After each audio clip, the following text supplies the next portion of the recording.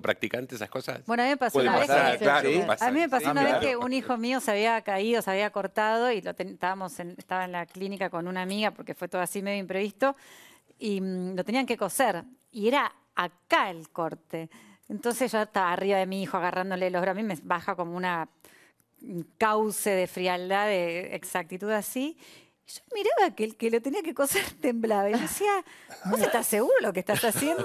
Claro. Y me- no sé si me dijo que era o residente, como que Claro. estaba empezando, le dije, con él no vas a probar. Claro. ¿Y no lo hizo? No, no lo dejé, no, que traerme a otra persona que sé, que no le puede temblar el pulso, y era, fue terrible. Ahora me río, pero la experiencia hace todo. Sí, no, no, sin duda, sin duda, sin duda. Sí, y ahora que estamos en época de que empezamos a aprender las, lo- lo- las calefacciones y todo eso, y vos que sos especialista en toxicología, el, el monóxido de carbono, ¿cómo se puede prevenir eh, todas estas situaciones que, que a veces son desenlaces terribles?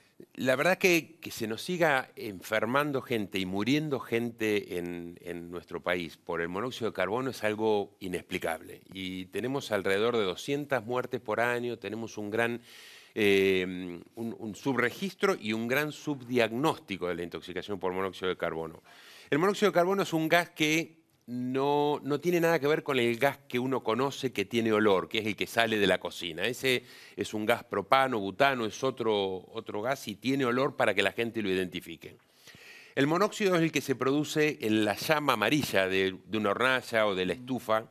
Y ahí donde se produce la llama amarilla es porque está funcionando mal el aparato. Produce monóxido de carbono que no tiene olor, no tiene color, así que no se ve, y que produce una intoxicación muy, muy severa que puede provocar la muerte de la persona.